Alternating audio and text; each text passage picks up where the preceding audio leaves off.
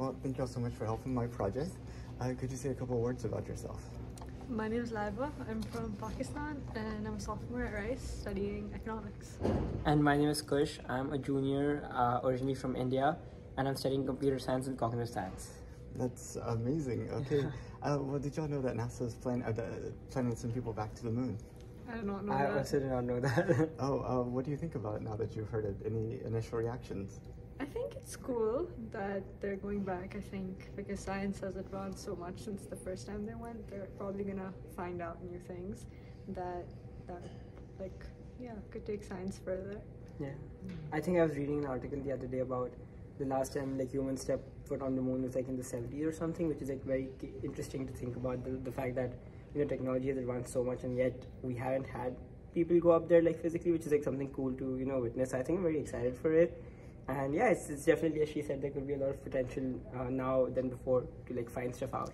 Yeah, the camera technology is definitely Yeah. improved. Yeah. you know, we'll feel like uh, like we have the VR headsets. We'll feel like we're walking with them. Yeah. Yeah.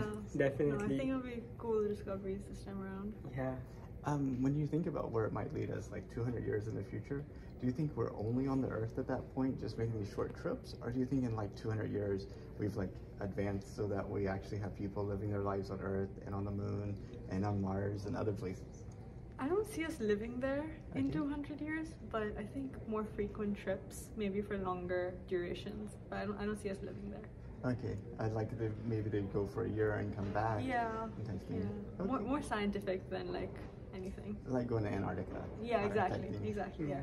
I agree with that. Yeah, I feel like it's something that you know, I, I don't see it happening in 200 years, but someday eventually I do see it happening.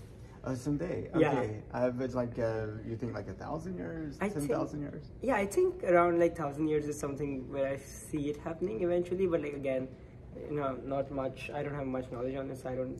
I'm not the best person, but yeah, a thousand years approximately is something that I'd guess. Um, and if y'all could, would y'all take a trip to space? No. No, would. you would. Yeah, hundred percent. Oh, I'm good here. You're good. um, how far would you go? I definitely think like Mars is Okay. definitely something because I feel like I, I personally am very fascinated with like all that stuff.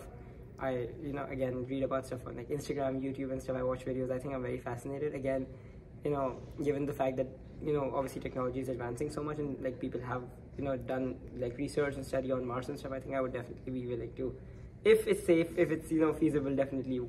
You know, try, I mean, yeah, hypothetically, yes, I would. Maybe if a few thousand people went and came Yeah, back safely, yeah, that yeah, type of thing. de- definitely. Well, thank you all so much for your time. I Of really course, appreciate thank it. you. Thank you. Y'all have a good night. Thank you. Good night.